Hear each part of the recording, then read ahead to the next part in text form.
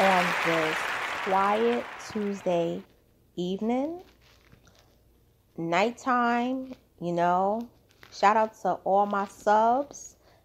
Shout out to my long standing subs and shout out to my new subs. Shout out to those that are not subs but view my content regularly and comment and share it, or those that are just stopping by. Anybody that's showing any kind of support, love, respect, I appreciate you. You know, even if you don't disagree, even even if you disagree with my content, I appreciate all listenership and viewership. Okay, because I do make lives, not regularly, but I do. I want to take the time out to say something. There are two things that I want to address. One, I am not by any means a person that is a bully. Okay? And I am not a person that jumps on a story just because it's hot. Or I'm not a person that comments on something because I don't like individual. I want to make that clear. This is not in reference to the Sweetie Pies, you know, stories. Shout out to Philly Phil for doing her thing and, you know, doing a lot of research and sticking to the story and protect her at all costs. I want to make that she has to be protected at all costs, regardless of how you feel about her. Nobody should be threatened over YouTube. I want to make that clear. Nobody should be called names because of the content we do, as especially since our content you know, nobody is doing like X rated videos on here. No one is doing anything on here that's like really, really wild. Now, 10 years ago, you had content like that, but not now.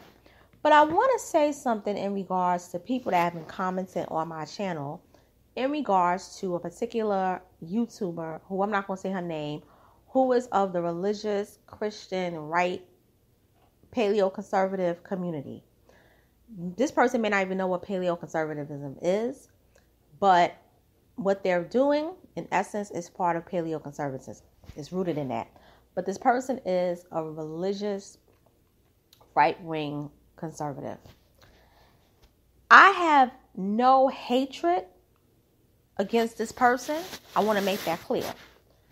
But the fans of this person I'm really getting sick and tired of you all coming on my channel, calling me names, calling my content trash, stating that I'm basically evil, calling me stupid. I had to block one YouTuber because the, the the person kept calling me a fool. So I called the fool back, and then I realized, you know what? What the f am I doing? Why am I doing stuff like this? This is not even how I roll. I had to block her, and I don't block people. What I saw the past month showed me the reason why many people do not want to be affiliated with Christianity because of foolishness like this. You want to support that person that I will not name on this channel because I'm talking about them on my other channel. You can go ahead. You supporting them is not my problem. But my problem is you having an issue and a problem with me calling them out because they have racist or have had racist bodyguards, racist supporters. They have talked bad about black people. They have mis they have basically lied about the history of black people in the United States to fit their narrative and agenda. I have a problem with that. So, you know what I'm going to do? I'm not going to talk about it on my channel no more. Everything that I do, I'm going to talk about it on my other channel. So if you want to go back and forth with me on that channel, it's all right. Because the one thing you're not going to do, you're not going to mess up my brand and you're not going to mess up my money. Okay? And you're not going to keep harassing me. Because I'm going to tell you something. You keep calling me names, you keep saying stuff about me, I'm going to report y'all. Don't play with me.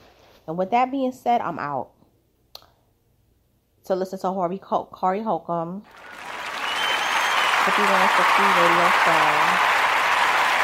Yes, girl. Later.